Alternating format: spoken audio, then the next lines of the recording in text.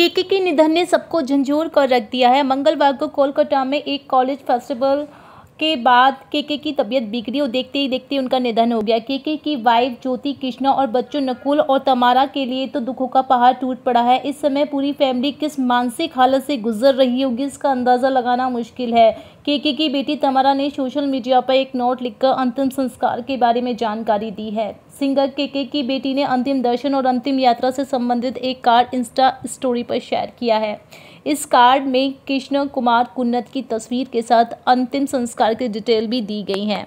इस कार्ड को शेयर कर सिंगर की बेटी तमारा ने लिखा love you forever dad दोपहर में करीब एक बजे वर्सोबा हिंदू शमशान भूमि में सिंगर केके का अंतिम संस्कार होगा।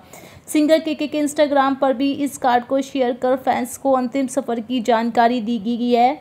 के के की बेटी तमारा भी अपने पिता के नक्शे कदम पर चलते हुए म्यूज़िक से जुड़ी हुई है। इंस्टाग्राम के बायो पर खुद को सिंगर प्रोड्यूसर और कंपोज़र बताया है। इसके अलावा तमारा ने गाते हुए अपने वीडियो और तस्वीर भी शेयर किए हैं।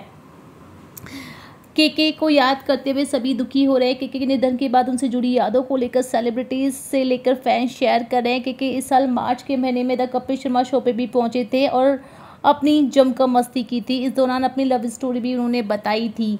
ज्योति कृष्णा को हम सफ़र बनाने के पीछे की कहानी भी शेयर की थी। इस पल को याद करते हुए कपिल शर्मा भी इमोशनल हो गए। वहीं विशाल भारद्वाज भी केके के साथ बिताए गए लम्हों को याद करते हुए शोकागुल हो गए हैं। इसी तरीके की आगे की तमाम जानकारी, भरी वीडियोस के लिए हमारे चैनल को सब्सक्राइब करना ना भूलें। साथ ही बेल आइकन पर भी क्लिक कर लें, जिससे आने वाली वीडियोस के अपडेट आपको मिलते रहें।